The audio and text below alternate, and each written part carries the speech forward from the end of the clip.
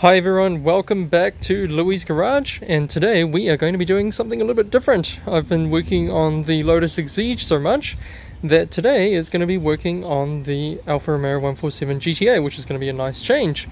So what are we going to be doing today? Well, you might notice that my rear badge is looking a little bit faded. I'm pretty sure that's the original rear badge. Uh, there's a little bit of a chip up here as well and some of the water is seeping through underneath the clear coat of the badge. And instead of just replacing this top bit which is what some people do I'm going to be replacing the entire badge because you can see um, it's quite dirty in there as well so we might go in and clean it up a little bit while we're there.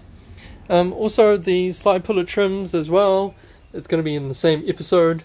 So these side pillar trims are a bit faded um, and I managed to order some new ones uh, thanks to a bit of a tip off on Facebook.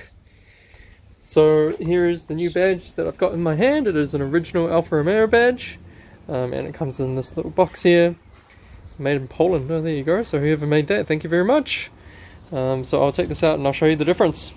So yeah, look at the difference there. That's what it's supposed to look like on the left hand side and I suppose that's, you know, what it looked like when it was brand new.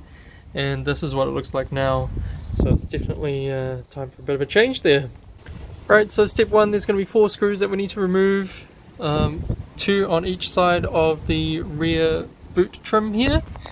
So just go ahead and remove that and we should be able to pull the boot trim off.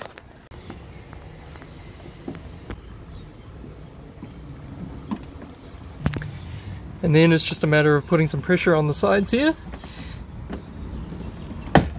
And the boot trim should come loose. Like that and then we'll just do that on the other side as well. Alright, so this is what it looks like with the boot trim off. You'll see that right in the middle there, there is a hole and a bolt uh, behind that hole. So this is a 10mm bolt. You just need to grab a 10mm socket with your ratchet and an extension and we will remove that and uh, get the badge out.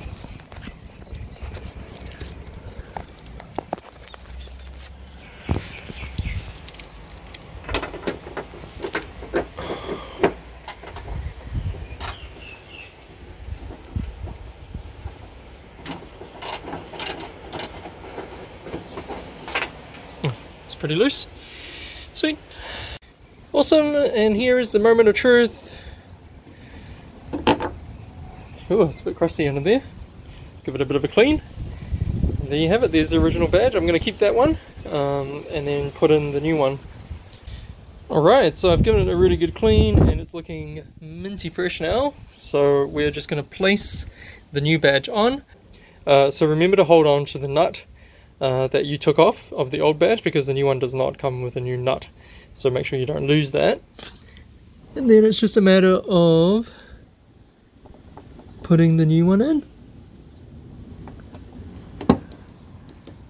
There you have it. So there's a few tabs to hold in place while you go and tighten it up at the back. So we're going to tighten it up and um, put everything back together and it uh, should look pretty much like new, which is great. Right, so we're just to tighten up the bolt for the new badge. Just finger tight, doesn't have to be too tight at all. Cool, that's about as much force as I want to put on there. And then we'll put the uh, trim back on as well. Alright folks, and there you have it. Look at that new rear badge. Oh man, that looks insane that is just awesome and really sets off the whole rear of the car makes it look like it's brand new again. So to go along with my new personalized plate you might have noticed that I have a new rear badge. So that's awesome. Wow just can't stop looking at it. The, the is not doing it justice here you know it's it's really really nice. It looks so fresh in real life. So definitely a mod or a little fix that's worth doing. It's a little bit expensive to get the badge actually, it's about uh, 60 or 70 New Zealand dollars, um, but I think it's totally worth it. You know, that's basically, you know, the, the character of the whole car, this, this awesome uh, Alfa Romeo badge. Look at that. Alright, so next up we're going to be doing the door pillar trims, so I'll take you through how to do that as well. Okay, so the side pillar trims. Well, uh, what an interesting design this is. Um, I'm not entirely sure why they designed it like this. Maybe it's a better seal uh, to keep the water and the noise out of the car. Uh, but basically there's two seals, right? So there's the outer seal, which is this one that sits inside the side pillar trim originally. So this is actually all sitting inside the trim, and then this goes around the outside of the trim, just this little tab here. Um, so that's that's one seal, but you can't even get to that unless you pull off this piece of seal um, that sits inside the glass. So this sits inside the glass, and this sits outside the glass. I guess that's why there's so many seals, right? Because there's one inside and one outside, etc., etc., blah blah blah. And once you do that, you can see those screws on the side there. That's what we need um, to remove the side pillar trim.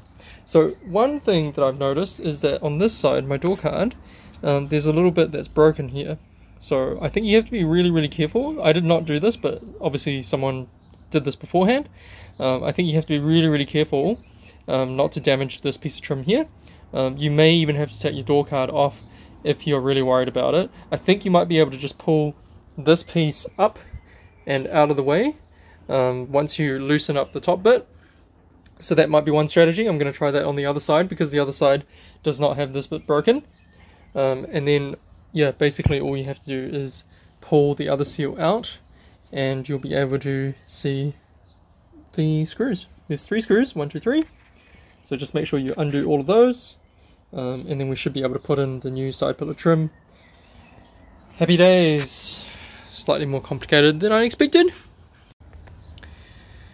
Alright, there you have it. Sorry I didn't film the process of removing it um, because I had to use both hands.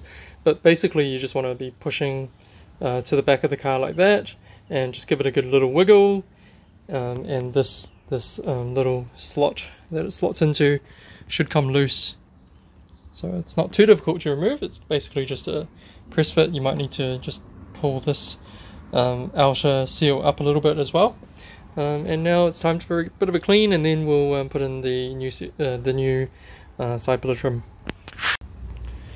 Alright, so we've got the new one about halfway installed. Um, what I've done is I've actually um, installed it here at the top so you just want to slide it in at the top here and then you can push it down um, make sure it's in front of this seal um, and then you can actually just thread this seal through the little gap there um, and that should help you do the installation properly. So yeah just make sure everything's in the right position um, because otherwise you're going to have a lot of trouble getting it all back together.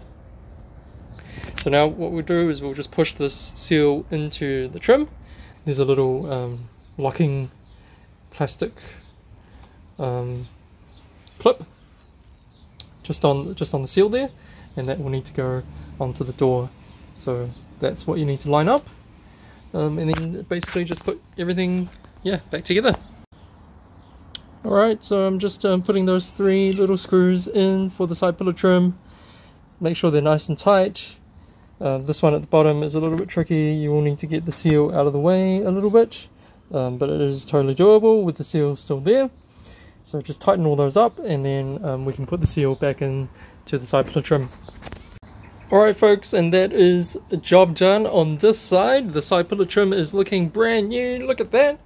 It's almost as shiny as this glass. It's pretty crazy how much of a difference it makes. Um, so a bit of a tip here. Uh, put in the top seal over here before you actually screw in side pillar trim. So put this in and then put the trim um, into there. Uh, you can actually pull out this whole entire seal um, with this in place. So just put that in first because otherwise it's going to be almost impossible to get this part of the seal in because this bulges out a little bit and it's really impossible to get it all in. And that's pretty much it. I'm going to do the other side and this car is going to look minty fresh with the new rear badge and the new side pillar trim. Hopefully you enjoyed that video if you like the look of this, then give me a like. And I will see you next time on Luey's Garage.